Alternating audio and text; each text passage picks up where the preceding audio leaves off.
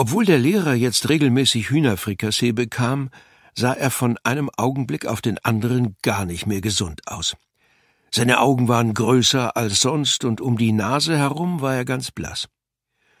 Wahrscheinlich lag es an dem Tiger, der am Ärmel seiner Jacke schnupperte, oder an dem Bär, der vor ihm stand und sich die Lippen leckte.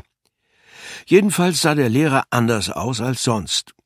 Und dann passierte das Allertollste. Aber erst muss ich erzählen, was davor alles passiert war.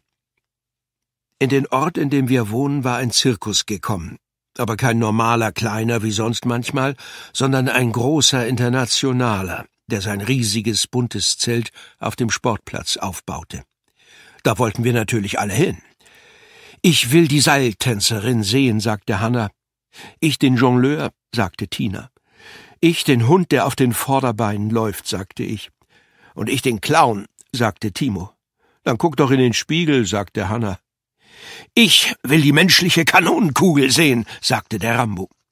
Und ich meine Mutter, schniefte Mika. Meine Mutter kann zaubern, sagte Pekka. Wirklich? staunte ich.